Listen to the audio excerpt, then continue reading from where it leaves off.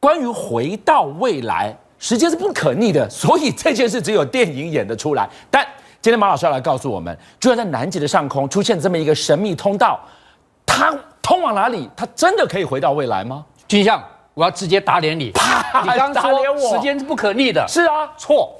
我告诉你，最新的科学证明时间是可逆的。你不相信对不对？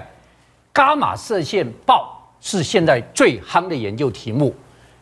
科学 Science 杂志在一九九七年、一九九九年分别选它为世界十大研究之一。是最新的说，他们现在研究伽马射线暴的时候，看到力回流波段结构。用白话文讲，好有学问啊！我用白话文讲，就是看到时间倒流，时间倒流，时间会倒流。你告诉我那个体现在，如如果我进去的话，我会变年轻吗？所以现在以色列已经用这个最新的这个研究，是开始做时光机。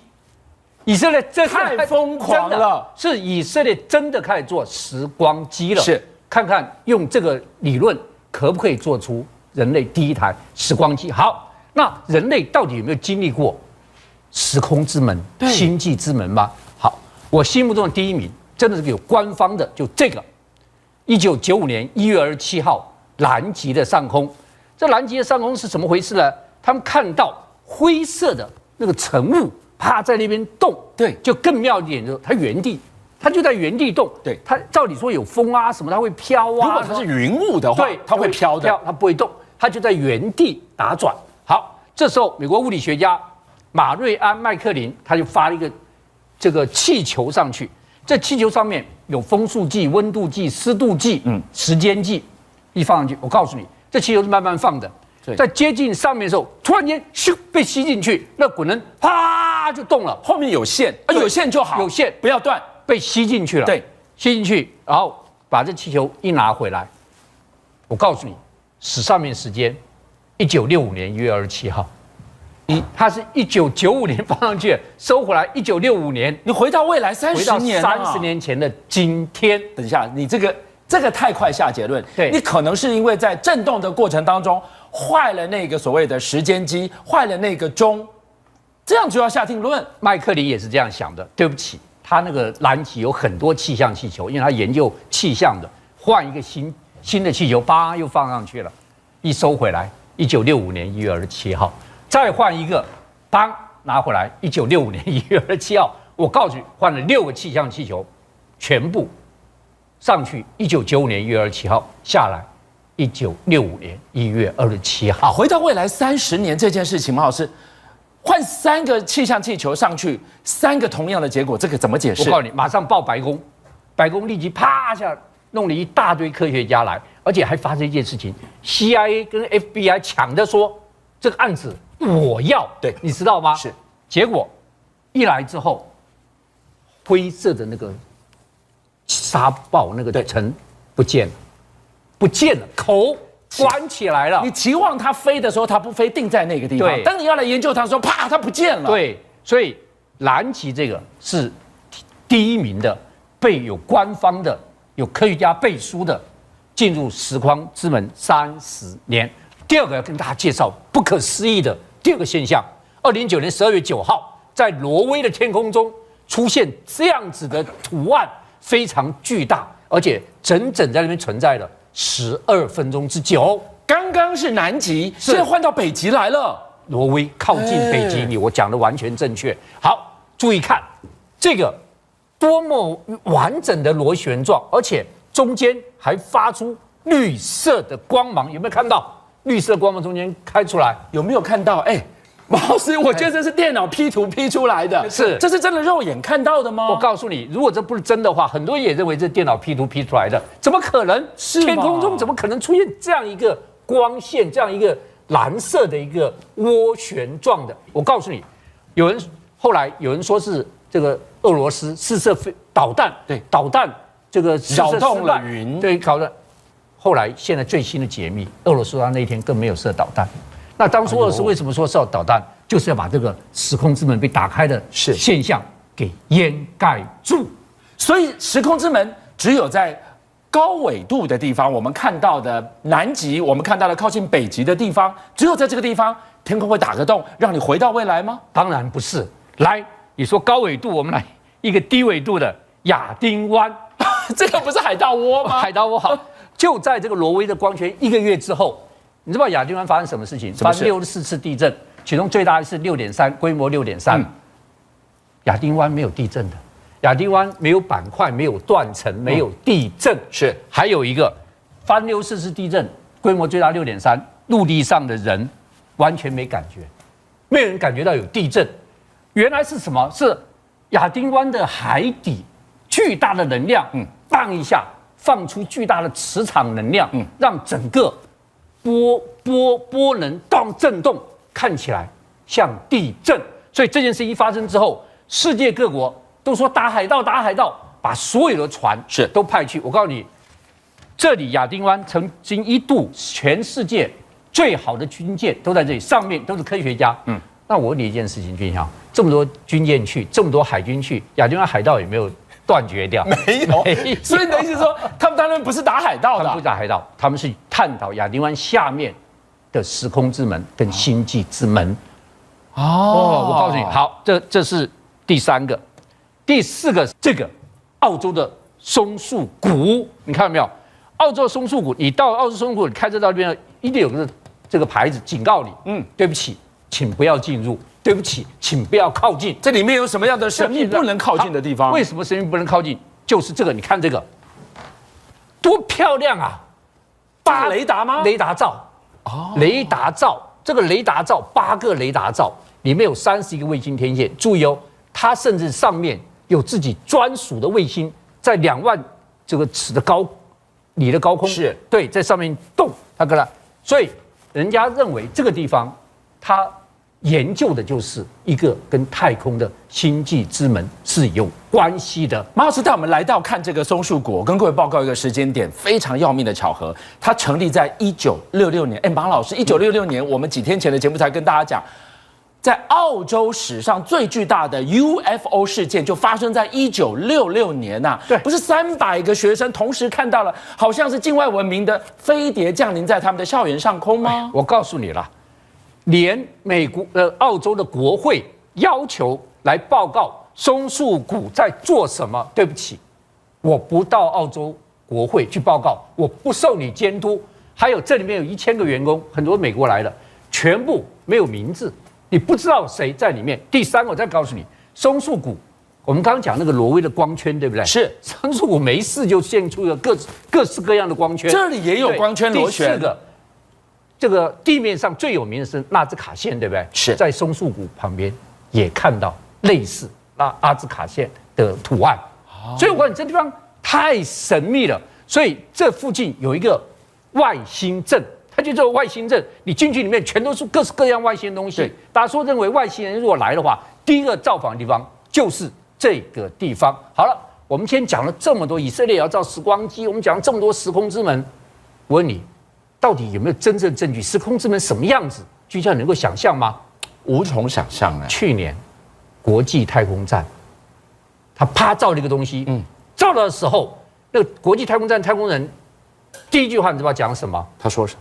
时空之门，他就大叫时空之门。来，我们他看到了什么了吗？我们给大家看这个照片，这个他叫时空之门，是他看到这个，这个什么东西啊？这个没有道理啊！这个是太空人的视角，对，太空是有造出来的。我问你，这不是太空船哦，这也不是什么幽浮哦，不对，它就是个光，但很巨大的光。那这个有人就认为说，因为这个看起来不像光线，有人就说它是，也可能是幽浮，是不明飞行物。对，但有可能是认为它只是光线，对，就是时空之门。对，所以这个反正直播的时候，拉萨啪就把它打断了。所以有人认为这个也是一次时空之门。好，这都在去年发生的。对，为什么以前？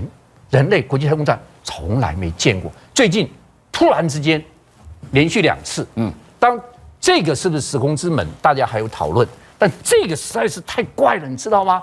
这个就像是连太空人自己都喊，对，时空之门，他在你面前开门给你看了，而且这个非常巨大的一个光，所以今天究竟有没有时空之门，我们等以色列的机器做出来，答案就揭晓了。时光一逝不复返。但今天呢、傅老师来到我这个现场，我要特别要告诉我们，是这样子的吗？我们都以为上了哆啦 A 梦的时空机，我就能穿越时空，但那是假的。但这个假久了，越来越像真的呀。对，而且最近就在三月四号，《太阳报》登了一个土耳其米列耶特的发布的消息，土耳其阿达纳省嗯地方哦，有一个杂货店的老板叫做塞尔达宾尼奇耶，在二零一九年三月三号奇遇了一件很奇怪的事情。他遇到什么事了？他奇遇意外奇异的事情，这个就是《太阳报》的 title 啊。嗯，《太阳报》三月七号，因为他把土耳其文翻成英文，第一次三月七号登出来，是说什么呢？他 hand of God，上帝的手啊，有一个真的的。花真的一个天使哈，救了一个奇怪的生命，借了什么方法呢？把 tapping his shoulder，把他的肩膀推了一把。你看，等下看他推一把，哎，推一把，看到没有？推一把，然后还一回头了刚好有一个铁哦人打过来，不然他早就脑震荡了。啊所以他站在这个地方，他不知道有东西要挥对过来。你看，你看，你看，看，他不知道，他躲，看到没有？这时候看到一个东西会刹那之间，所以那个人要是不神来之手打他一下的话，他他就后脑勺就中了。哎，当场就倒在地上了，哎哦，所以说这个是现场拍的这个影片。那么三月三号呢，那 m i r r y e t 报纸，土耳其报纸就狂登，对。登了以后，三月七号，英文报。英国的《太阳报》是。登了这个消息。啊，Just before Larry 一个一个很快的速度都打过他，几乎跟死神刹那 near miss 刹那之间错过，那这件事情其实最特别的地方是什么？老师，这两起重大的新闻一出来，立刻大家讨论说，那拍他那个人到底是谁？居然扯出了时空旅人，怎么扯这么而且拍他的这个人啊，因为全程录影带照到了嘛，对没有不见了。你看，就瞬间，你看这个头模模糊糊啊，他的头很清楚。照理来讲，你这个录影带拍过去嗯，在同样的这个这个区域，他清楚，他也应该清楚，不是？你看了吗？他清楚，他不清楚，同一个时空，同一个个时空，他清楚，他不清楚，对不对？然后一下子他就不见了。对所以他是不是在消失之前拍了他一把？不晓得。上帝之手，对上帝之手看过了这个新闻事件，大家就在想说，诶，电影也演很多《Somewhere in Time》哆啦 A 梦的时光机，讲的都是穿越时空这件事情。我们现在来想，当然觉得那简直是不可思议，但真的是如此吗？哎，现在这个我放一个影片啊，这个是二零一八年的五月份嗯，在滨州有一个 warehouse 一个仓库，嗯，仓库的警卫，嗯，拍到一段影片啊，非常的惊人。那拍到影片现场就有人 post 出去，然后在 YouTube 上疯狂传阅。我现在传出去是七十四万，七十四万个人看过这个影片。好，我们先看啊，好，这是警卫拍的，你看还有声音啊，它有声音啊，我们可以看它声音。is immensely bizarre. Watch this and decide for yourself. 啊，你自己做决定。这个好像是印度人，这个印度的警卫，从右边走过来哎哎，慢慢走过来，他找什么东西？Something.？Looking for something. 啊，他在找什么呢？对，然后再看，朝着镜头，哎，他他他不知道有人在录影他，因为 security guard. 他没有找到，嗯。然后？啊，他又回去，来回？啊，不是他到底在找什么？这是一个车库的 monitor 吗？哎哎，这是一哦个一个仓库，一个仓库，你看这是一个仓库啊，是一个很大 warehouse，不知道哪家大卖场的哈哎，找到了，and then there 找到，拿起来了，And 哎看到没有？as you can see, 有一个白光是光都知道 flashlight 白光，看闪光，哦，好，你要看仔细看啊，对，now look closely right here. 啊啊，closely 就近看近看 Look,，look，look, 就是一道光啊 look 啊，closely right here. 再看再看 Watch，what happened. Here it 看 is. 看你看。Watch.，Look. 你再看，光在闪，啊有一盏灯 There it 啊不见。了看到没有？这个不见。is.，对对对对对，刚刚那个 time code 哎分分秒秒，它在持续的哦，，对，它持续，哎，又不见了，看到没有？它没有剪接过的呀，，对对对，这 security guard 漏在 mail 呃呃这个 mail 传过来的啊，传到放眼，因为谁都可以把它放在 YouTube 上？放上去了。那这段画面怎么解释，老师？What do you think？哎，你你问的话，他也问了，你怎么解释？这个怎么解释呢所以不知道，所以刚刚讲的就是一个很奇怪的、很奇怪的东西啊。好，这个是在 YouTube 上面被热议的一段影片，我们把它当新闻事件来处理也不为过。老师，我们退一步讲，退一万步讲，你从哆啦 A 梦，我觉得那是假的，那是演的，可是你你一直让我看到的是来自新闻的呈现，那总假不了吧？对，现在刚刚是我们先讲一个事实，对不对？但是事实有很多部，等一下还有真正发生在纽约的事情。我们现在讲这个是三月十三号，在莫斯科物理科学与技术学院做了一个很有趣的实验。这个实验做了以后啊，现在美国的科学网站通通在狂登啊。然后我现在把这个内容跟大家讲一下啊，这个是它的科学网站 physics 点 org，org 是政府机构啊啊，大家可以去看这个网站的资源，大家上上去看这个长长一大堆东西，这沙漏吗？哎，一个沙漏，比如说沙漏是这样滴的，对不对？对。如果你倒过来，它是不是反过来滴了？对，哎，反过来滴。沙漏什么了不起的？哎，哎对，没有什么了不起。对。但是他做了个实验，他把两个量子做实验，啊。时间可以回去，量子会回到原始的状态，时间可以倒转。哎就是说量子原始的状态哎，它在激发之前的状态已经回来了，但是只有两个量子。我们看一下哈，这是假如说我们打撞球，你看撞球打过来，对不对？嗯，打过来不是四散嘛，对不对对？四散，但是你是不是可以把弹球、弹弹子球四散的结果倒过来了，变成这个样子，恢复原来的状况？那是特技吧？哎，特技，哎，放影片嘛，前面放后面放不都是一样？是哎，都对称。对但是呢，物理学家以舒厄为首，注意舒厄为首，做了个实验。嗯，这是原子的初态，对，这是原子初态受到激发以后的变化，对不对？对然后一下子它又回到原始的状态，become localized。哎，也就是说。时间轴往这个地方走，对走啊走啊走，应该离它越来越远，怎么最后走回它原来的对样，子应该是继续往下走，对不对？是它走回去了。啊？但是呢，这个这次实验哈，只有两个量子，对，在围观的情况下成功了。是，他们后来想办法多加一个，对，就失败了。所以只有两个量子，这个实验完成，三个量子回不去了。为什么？因为其其实这个是不可能，因对为照热力学第二定律，是最大的最大乱度根本不可能，嗯但他做到了，而且他是写了一个程式，程式里面完全是用波动方程式 wave equation 把这个事情变成真的了。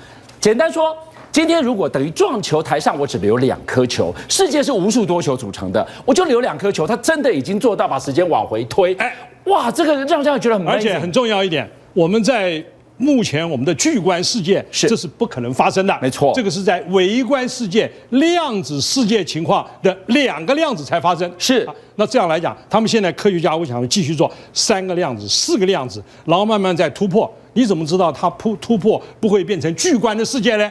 巨观的世界是我眼睛看得到的，新闻事件眼见为凭。再来呢，傅老师今天晚上特别给我们带了两个现场，大家来看看你要怎么解释呢？这个是在纽约的报纸登的啊，这个把它抓下来啊，有一个一个叫做 time travel 时空旅人，把那个城市都给骗了。我们来看怎么回事啊？二零零三年三月，联邦调查局逮到一个一个人啊，四十四岁的老人，他呢在纽约华尔街买股票，在股票市场玩股票，嗯，两周注意哈，两周里面他用八十块美金投资啊，两周啊，三点五亿美金。这简直是不可能的事所以说说他幸运呢、对对，哎，他连续两个礼拜怎么可能那么幸运呢？是。哎，那这样这么好赚，我们都不用在这边了，直接去赚钱就算了，对。不对？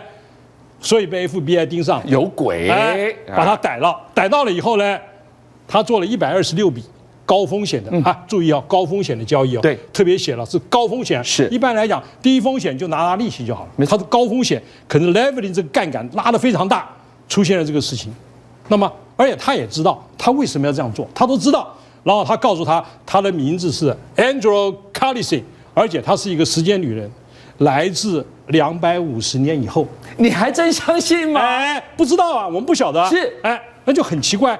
那当然谁都不相信啊。对，警察局就把他关了。对，关起来。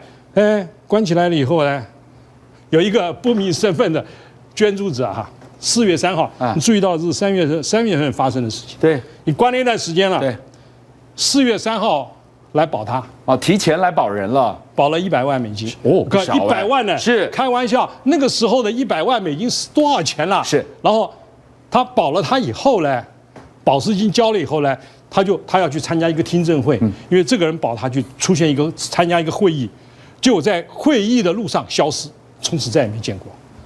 你说他回到两百五十年前了吗？哎，他赚了，他赚了钱了，赚了三亿多美金走了，啊，就是这个人啊，所以纽约报纸特别登的这个新闻，而且纽约报纸的标题 Time Travel，Time Travel，这个人 Andrew Carlson，所以表示是什么？把华尔街都给骗了。邀请您一起加入五七报新闻会员，跟俊相一起挖真